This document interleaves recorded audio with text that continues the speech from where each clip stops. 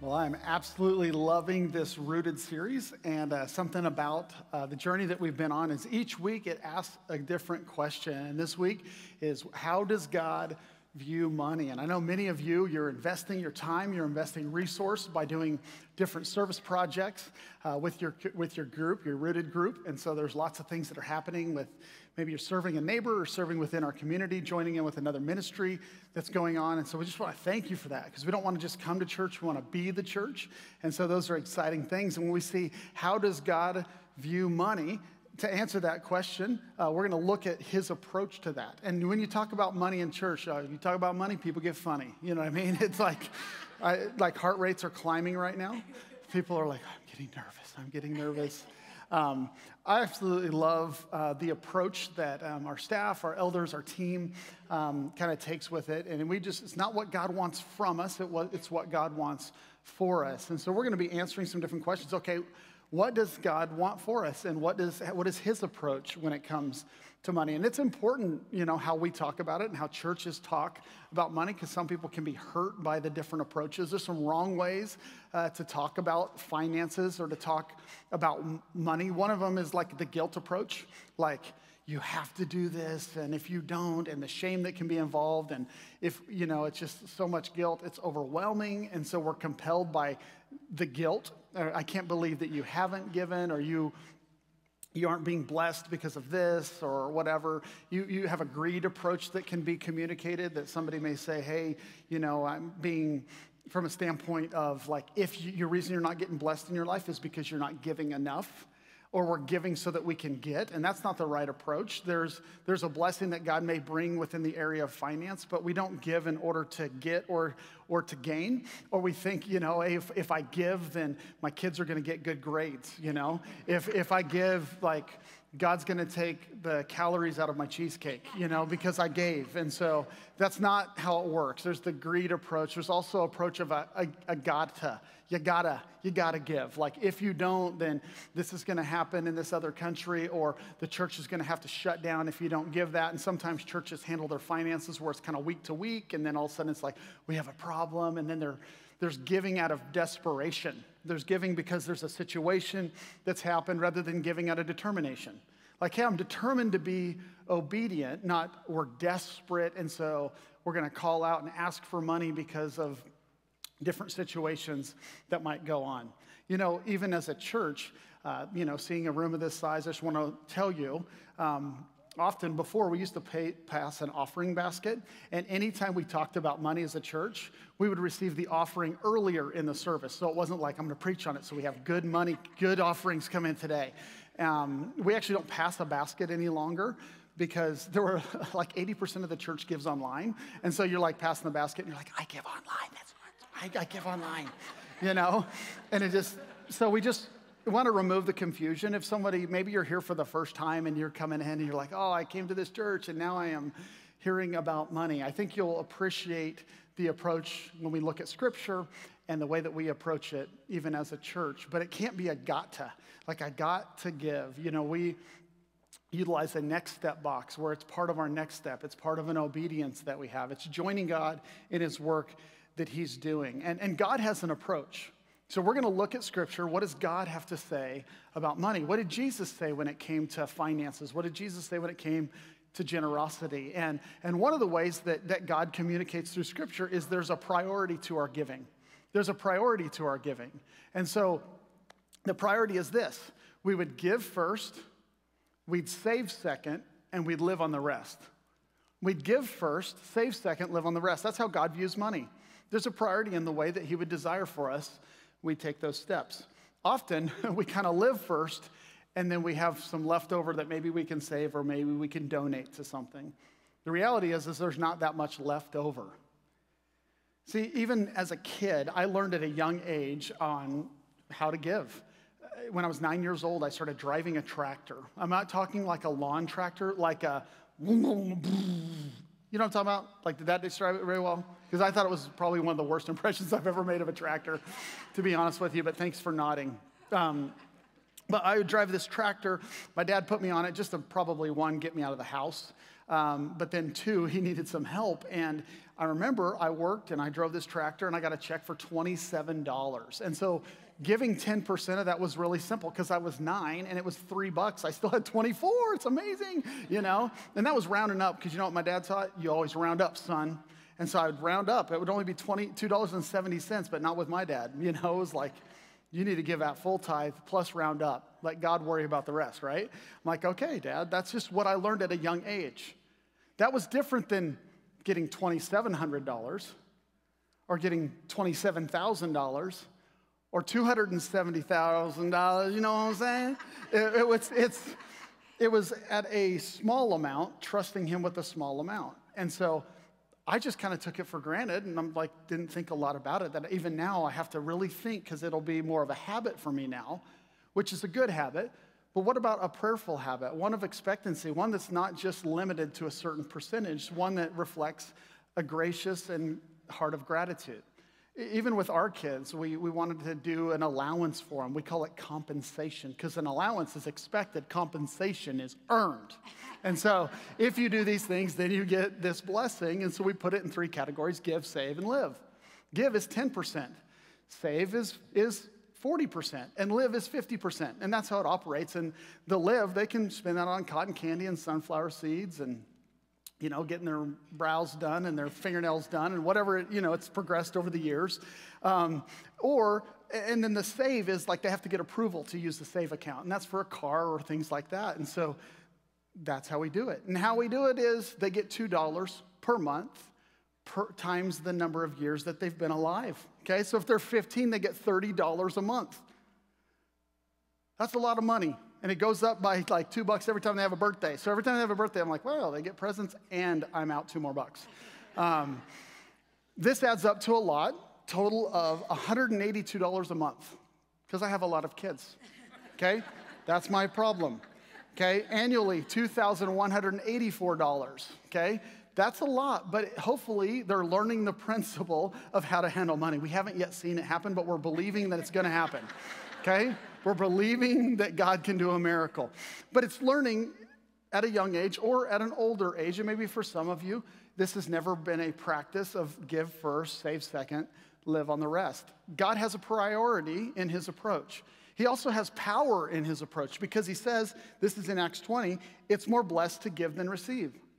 It's more blessed for you to give than it is to receive. See, being rooted means we're going to be followers of Jesus. So we're going to do what Jesus did. We're going to do what Jesus taught. And when you look at the first followers of Jesus, after Jesus came, died on the cross, rose from the dead, they're carrying out the teachings of Jesus. They were in these small groups that gathered together, these small house churches. Their faith put them in a position that they could lose their life for following Jesus. So they really clung together. They were living in what we would call a third world country now. That's how they lived in those days and times. So they were very impoverished, they didn't have everything. But at the same time, they were extremely generous, extremely generous, to the point that many gave all to see churches planted throughout that area because they had started a church. They were providing for one another. They would send out these pastors from those places to go plant other churches around. Extremely generous. First off, they loved one another as family and they sacrificed for one another. They loved one another as family and they sacrificed for one another because often when people would begin to follow Jesus, their family would disown them. So they became family for one another. They made a sacrifice too because they knew Jesus. They wanted others to know Jesus. So money was just a way that they were able to spread that message of Jesus to other people. They're like, hey, we know how do we give this message to other people. And so they allowed the finances and resource to flow through them. They also learned to put money in its rightful place, to not let money be on the throne, to let Jesus be on the throne. Here's one of the challenges we have money is more powerful than we think. It really is. Like for some of you, we ended that last song, announcements went, you guys clapped for announcements. That's awesome. You're excited about announcements. You guys like, oh, announcements, you know, like, yeah. Oh, money talk. Oh, my heart rate was at a 62. 114. You know, you're like, our heart rate begins to climb. We get a little bit stressed. There are people that they've left churches because of how money was communicated or not communicated, used or not used. Like it can become a divisive situation. And sadly, some churches and some pastors or ministries or people, they talk or they teach about money from the wrong approach. There's a wrong way of talking about it. We have to say, okay, what did God say about it? How did Christ instruct, instruct us on how to handle our finances?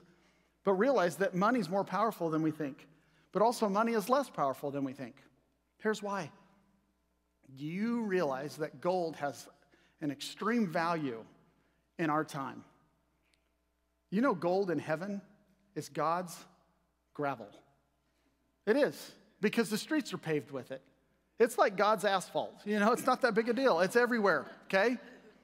What is it here? It's a big thing. It's something that we cherish, we look for. We're like, hey, I want, I would like more of that. I would collect here. See, you're worth more than what you would consider your money. You're worth more than what you make. You're worth more than the company that you own, the way that you lead. For God gave his only son for you. So we need to take money off that throne and put God in his rightful place. He cares more about you and the direction of your heart than how much money you have or how much you give. He cares about your heart. And if we're going to be rooted, right? Followers of Jesus follow Jesus. Jesus. Followers of Jesus follow Jesus. So guess what? Our money should follow Jesus if he's leading us. Our marriages should follow Jesus. Our singleness should follow Jesus. Our language should follow Jesus. The way we treat people should follow Jesus. Our schedule should follow Jesus. So it's not just a money thing, it's a heart thing. It's the way that we live should follow him. Jesus said it this way in Matthew 6 No one can serve two masters, for either he will hate the one and love the other, or he will be devoted to the one and despise the other. You cannot serve God and money. You either hate one or love one. For if money's on the throne, God can't be there. But guess what the world tells us? Spend it now, you can make it up later. Right? Debt. You know, the average American lives on 105% of their income. It's only 5%, right? Well, that's big bucks over time. The average American has $14,000 in credit card debt. That's a weight, and some of you are under that weight, and you're like, man, this is difficult, but we had to, and here's why. There's things that can happen, but debt ultimately becomes our owner. Lust becomes our Lord, where we want things. Have you ever been tempted? I was tempted this week.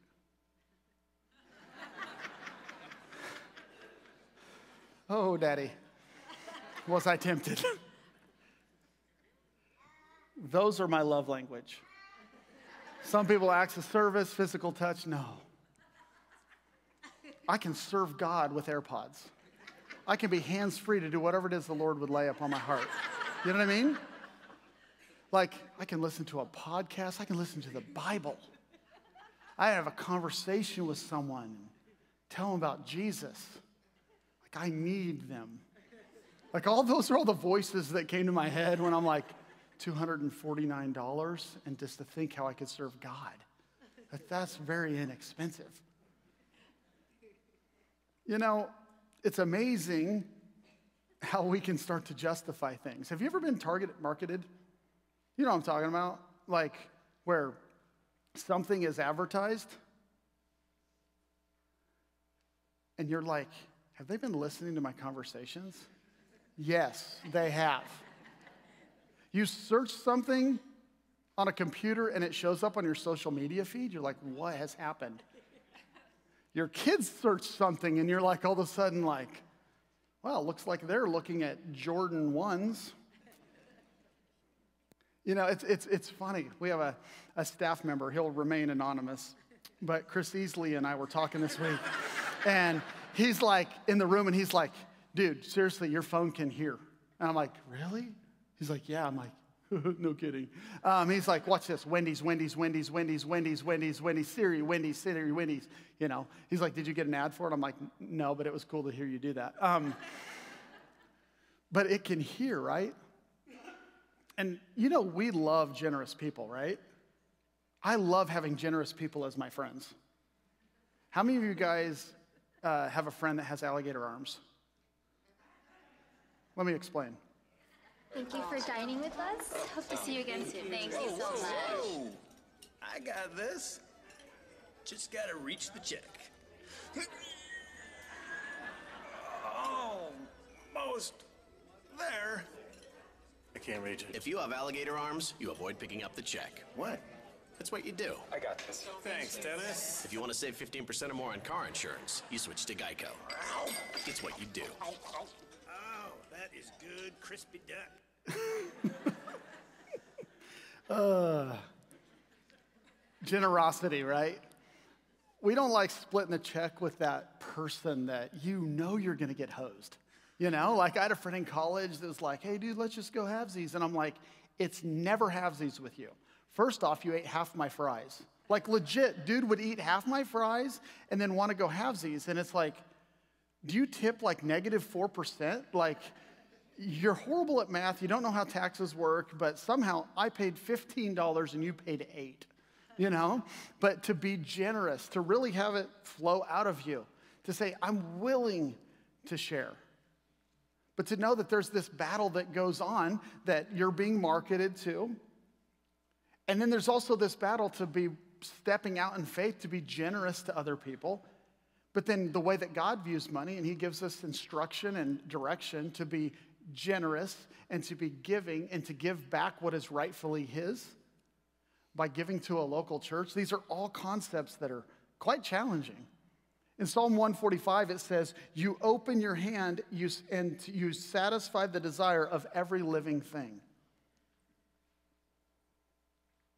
You open your hand and satisfy the desire of every living thing. See, Proverbs 11 talks about there's one who gives freely yet grows all the richer, and another who withholds what they should give and they suffer want.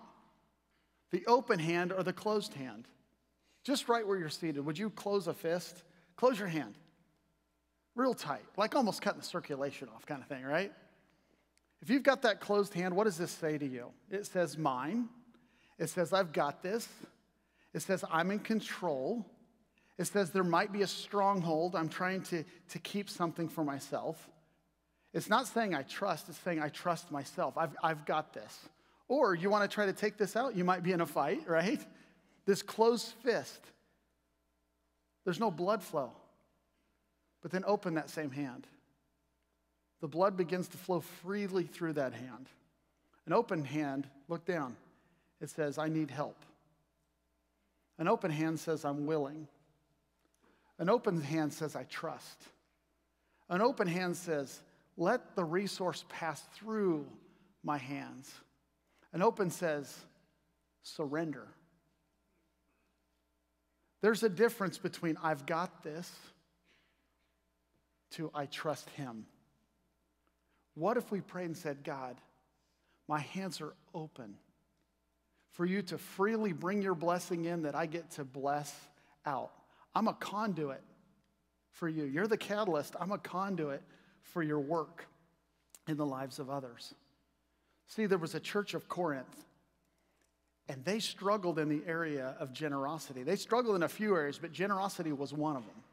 John Link talked about it last week, and he was talking about this early church, and there was a difference between a sheep and a goat. And the sheep, they were compassionate, and they took on the posture of our Savior. But the goats, they look similar, but they're different. To be compassionate. See, that church in Corinth, they were doing church. But they made promises that they were going to give financially, and they weren't giving. So Paul had to not just write one letter, he wrote a total of four letters. And he spent four specific chapters addressing the fact that they made a promise that they weren't keeping. So he had to write them and say, hey, be generous. In fact, why don't you be generous like the church in Philippi? See, there was a church in Philippi that was very impoverished. This church, chapter 8, verse 2, For in a severe test of affliction, their abundance of joy, their extreme poverty have overflowed in a wealth of generosity on their part. For they gave according to their means, as I can testify, and beyond their means of their own accord. They overflowed in generosity. They gave not just according to their means, but above and beyond their means by choice. They gave in obedience, but then they also gave another level of generosity because we can't claim generosity if we're doing a base level of giving. Generosity is over and above. Well, this was one of the poorest churches. In fact, the poorest churches in Scripture were the most generous churches. Those are the same trends that we have now in our day and our time. Often, those who have the least give the most. You ever been on a missions experience? You ever been to another country? You ever walked into a feeding center? You ever been to a family that's sharing a small portion of food and you watch the generosity that takes place? having the least, but yet giving the most. And Paul's writing this letter and saying, I'm going to come visit. Please be prepared to be generous. He had to give them a warning because he knew if he confronted them when he got there, they weren't going to be ready because it wasn't an overflow of their heart. And in chapter 9, verse 5, it says, I thought it necessary to urge you, brothers, to go on ahead to arrange in advance this gift that I've promised so that it may be ready as a willing gift, not as an exaction. That's basically like donating a kidney versus getting one wrangled out of you. That's a different thing. To say, hey, I want to give of something that I have versus whoosh, surgery coming in to get it because there's a need. To not give out of exaction, but rather willingly give. Verse number six, the point's this whoever sows sparingly will also reap sparingly. That we should give generously to sow generously into the lives of other people. To give generously. If you're asking yourself, what is generosity then? What does it mean to be generous? If there's somebody that's in need, what if you put your, if you're going, okay, I want to be generous to them, what does generosity look like? Put yourself in their shoes. Put yourself in their shoes, and what would be generous to you? What would generosity look like? And then be generous in that manner. Next, don't just give generously, give willingly. See, when we give willingly, each one must give as he's decided in his heart, not reluctantly or under compulsion. Not reluctantly or under compulsion, to give willingly. See, at 7:15 every Sunday, we gather in the like pottery sculpture room just over this way with lots of awesome creations all around us. We take time to pray, and the prayer almost every week, and specifically this week, is that we'd have willing hearts. Our hearts would be open to God. That we'd have willing hands. God, our hands would be open to allow your resource to pass through us. Our feet would be quick, ready to meet needs that we see in the lobby, wherever it goes on, God, however you would use us. Our minds are open to hear of your word and be challenged in our thinking. Our hearts are open to be changed, a willingness to give willingly, to live willingly. What does it mean to give willingly when you're in a marriage and you have different levels of what you would consider generous? Because in almost every marriage, there's a spender and a saver. That person that is not controlling, but that person that's saying, hey, I want to honor God with this, and, and I'm keeping because we need to prepare and I want to be ready, doesn't mean that they have a bad heart. And the person that's like, let's just give it away, I'm not really worried about it, doesn't mean like, oh, they're the right one. There's a balance between the two. But it, a conversation is important rather than guilt being thrown on one or judgment being thrown on the other, to have a conversation and saying, hey, guess what? I may have this gift of generosity and I may be willing to just, hey, we're just going to trust God, but I may be causing my spouse to stumble. And I may be giving willingly, but they're giving begrudgingly because there isn't a conversation, there's just judgment, and I don't know. But then also at the same time, what if God is testing you and saying, Would you just trust me? Would you step out in faith? Is there a meet in the middle? Is there a conversation? How can you both give and it be a willing heart, not begrudging or reluctant or under compulsion or with exaction? but decided in your heart so that it can be an offering that's given, a peaceful gift. That's what it's talking about here, a conversation that can be had. What does it look like to have a willing heart? What does it look like to have a joyful heart, to give joyfully? that each one would not just give reluctantly or under compulsion, but God loves a cheerful giver, that we would give joyfully. When you give joyfully, it means you can find joy in knowing that God's going to use it or look at what God has done.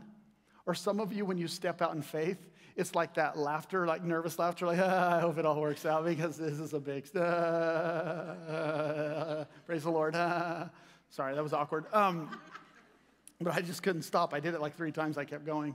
Um, but it's that nervousness of we're stepping out in faith. Sometimes it's a laughter of like, I literally can't believe that God worked that miracle. I cannot believe he let us be part of that. How do you think the first people that invested in Rock Harbor Church that were gathering on a Sunday night feel right now to know, like, we stepped out in faith and we did not know what God was ultimately going to do? We don't worship them, we worship the God that planted them, the God that called them out. To see those steps of faithfulness,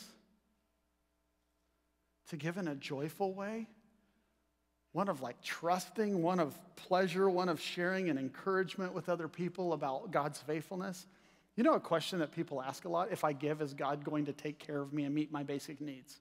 I'm going to step out in faith, and it's uncertain, is God going to meet my needs? Yeah, keep reading verse number eight. What does verse number eight says? That all Uh, uh, that God, look at all the alls that are listed here. There's four of them, and then there's an every. So if you have your program, you have your Bible, you want to circle, underline it, these are imperative to read. It says, And God is able to make all grace abound to you, so that having all sufficiency in all things at all times, you may abound in every good work. All, all, all, all, and every. If we give and we trust Him, He gives us the greatest gift. You know what the greatest gift is? It's not money. The greatest gift is grace. He gives us abounding grace. You think of Solomon in the Old Testament, was given, What would you like? He chose wisdom, and wisdom gave him everything. Grace gives us life itself. Grace, undeserved favor that we do not deserve as sinners. That's better than money. That's something money can't buy. But the death of our Savior on a cross, bought us that grace, and we're given abounding grace.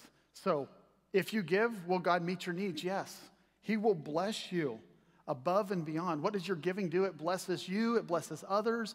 And when you give with other people, there's with much thanksgiving that takes place because you see it happen and multiply. That's why you look in any project you've been part of, some of you that are currently serving right now, you give and you come alongside one another. We do giving tree that takes place and what you may not be able to meet the needs of an entire family for Christmas, but we all come together, we all do our part and look what we're able to be part of.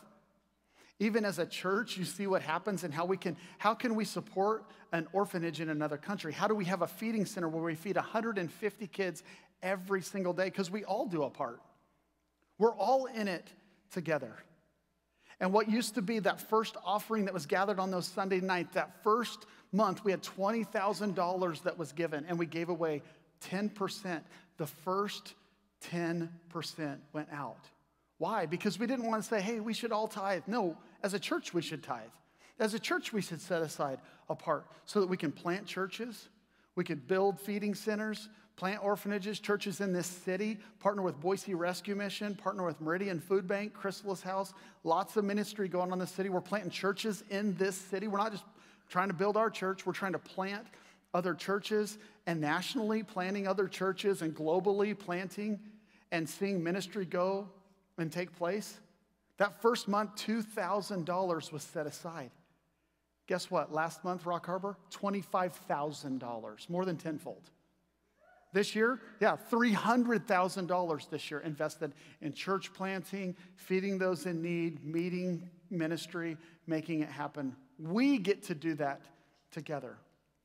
And seven and a half years ago, when our church started, I did a little bit of math on the churches that didn't exist back then, but exist now.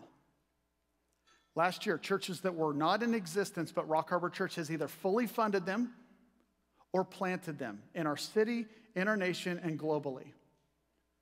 That means seven and a half years ago, zero people were attending. Guess what? You count all those church plants and the multiplication of your finances, your resources, the coaching our team does, the working and partnering with it. 11,600 people were in church last weekend because of your generosity. Yeah, 11,600 people. That's what we get to do together. So, how do we join in His work? Well, we have to make a commitment. We have to commit that I will give God my first and my best. I'm going to give God my first and my best. I'm not going to give God my leftovers. It's give, save, live. Rather than live and then let's leftover God, leftover saving. No, we give, save, live. So I'm going to give God my first and I'm going to give God my best. Jesus said it this way in Luke 6:38, "Given it will be given to you." Do you hear that? Give and it's going to be given to you. Give first and then the receiving comes later. Good measure, pressed down. This is the blessing that comes to us when we give. Good measure, pressed down, shaken together, running over, will be put into your lap. For with the measure you use it, it's going to be measured back to you. See, in this day and time, when Jesus communicated this, this was an agrarian uh, society. Of agriculture was how most people were paid. Most people earned a living. Most people survived. So you'd have these masters, these people that were landowners, they would bring in day laborers for the time of harvest. And what would these day laborers do? They'd go around, they'd collect, gather up the seed, they'd gather up the grain, they'd gather up the harvest. And they carry around these baskets. They, they had these bushel baskets that they would walk around and, and pick up. And, and, and just let me explain this to you. When they would pick it up and they're doing their work, they'd fill it about half to three quarters full, right? Because they could handle it. I mean, these are big, heavy baskets. They come and they dump it out. But how do you think? Because if if their master was a generous person, sometimes they'd get to the end of the day or the end of the week and they would say, Go ahead and fill up that basket and take it home with you, for that's your pay. How do you think they filled up that basket? You know, one when you're working, half full, go get more. I think this is how they did it. It was kind of like a little hammer move, like a little MC hammer, dump it out, then go get some more.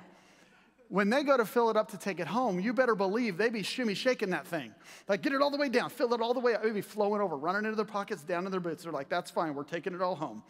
That's how they did it. That was the blessing that God gave. Maybe some of you can relate to this. How do you fill up your ICEE? Right? You fill it up, you know, your Slurpee, you fill it up, and then you go like this. You knock it down. You made me take a few pulls off it. You know, you get a little, you slurping on the Slurpee. How many of you guys have done this? Be honest, you're in church, okay? You do that. You knock it down, you get that lid, that lid goes up, that gets you even more, you know, and you're like, oh, you know, I gotta taste it, you gotta sample it. Some of you won't admit, like, be honest. Some of you like, oh, it's totally organic, okay? It's fine, okay? Maybe that's not you. Maybe, maybe some of you can relate to Mongolian. Oh. I'm a ninja. You didn't know that.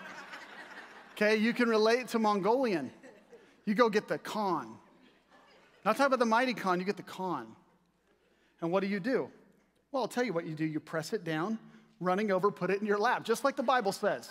You press it down, running over till it falls in your lap. Let me show you a picture of what that looks like. Right here. That's my son. I raised my kids right. Son, you want more on top of the bowl than you actually have in the bowl. That's how we do it. You know why? Because we're cheap. Why in the world would you pay 1149? 1149 when you can get by with 849, right? Why not put as much as you can? It would fit in here. Makes sense. Guess why? We'd rather do more laundry poured over into our laps than pay three more dollars. That's how we raise our kids. But that's the blessing. Do you understand? That's the blessing that God wants to give you. He's not saying, bring the bushels in and it's overflowing, going like, hey, God, here's the money. No, he's saying, bring into the storehouse what I put in your care and just bring it back. And when you bring it back, guess how I'm going to bless you? Overflowing out into your lap. That's your blessing. That's not your requirement. That's your blessing that He wants to bring to each one of us.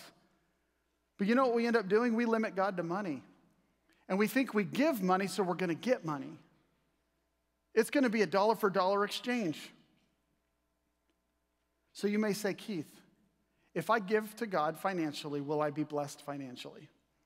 Let me be very clear what the Bible says. Yes. It is very clear in Scripture if you give financially, He will meet your needs.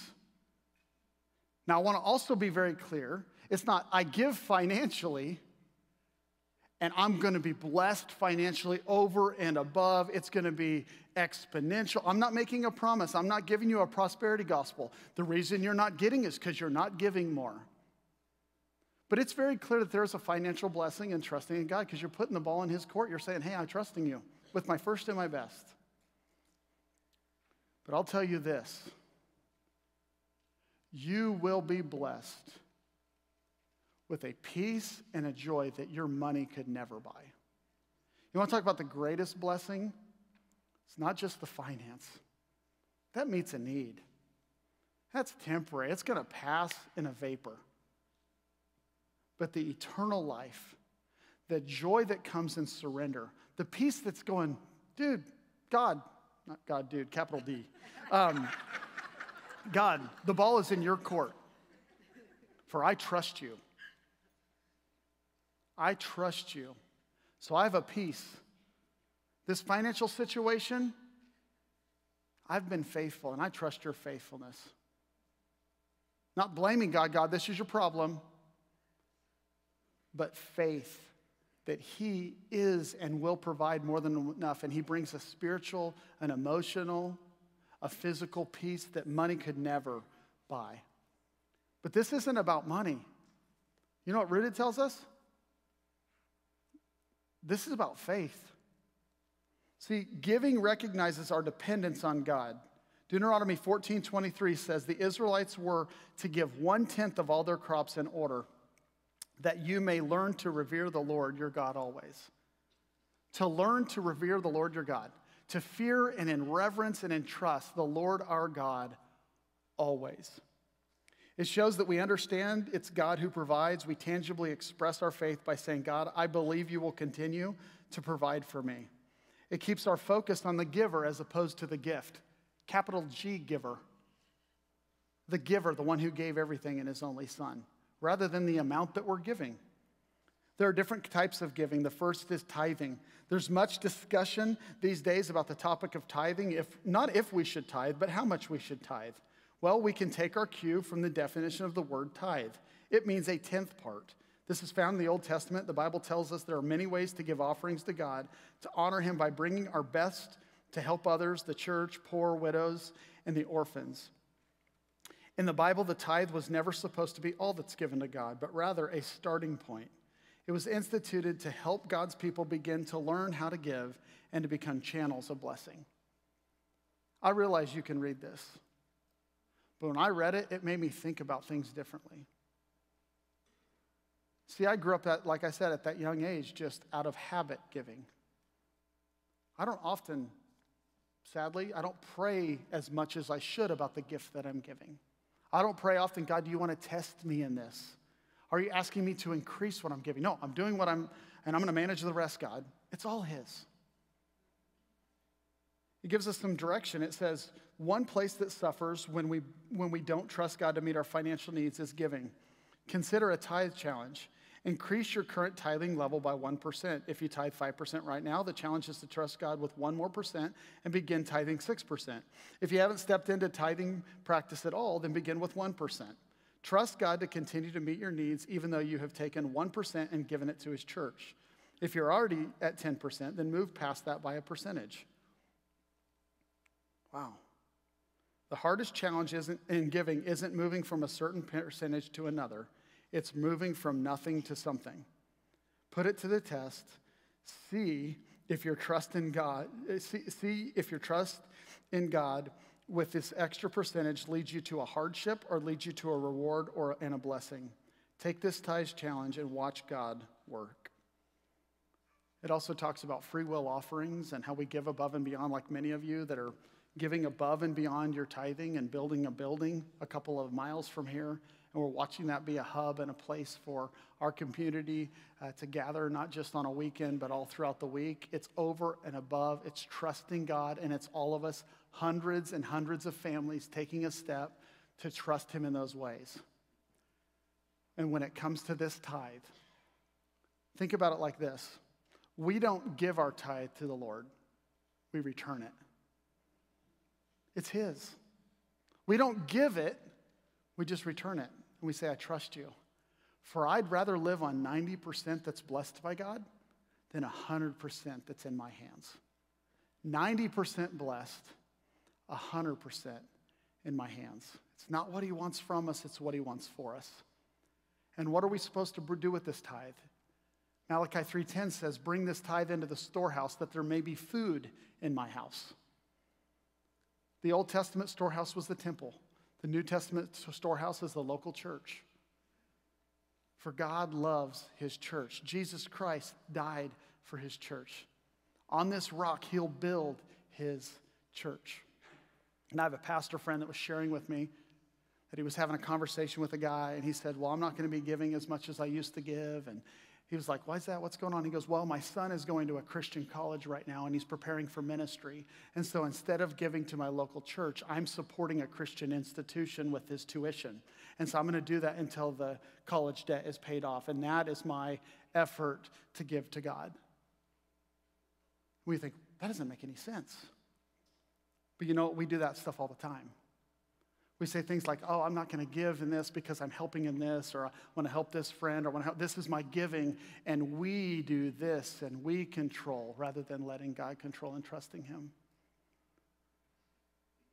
Why would we bring it into the storehouse? Well, it goes on to say, thereby, therefore, um, thereby put me to the test, says the Lord of hosts, if I will not open the windows of heaven for you and pour down for you a blessing until there is no need for more a blessing awaits us. And this is less of a conversation about giving and finances and more of a conversation about faith and trust. Who do you trust? Would you bow your heads with me? It's incredibly challenging as we dive into God's approach.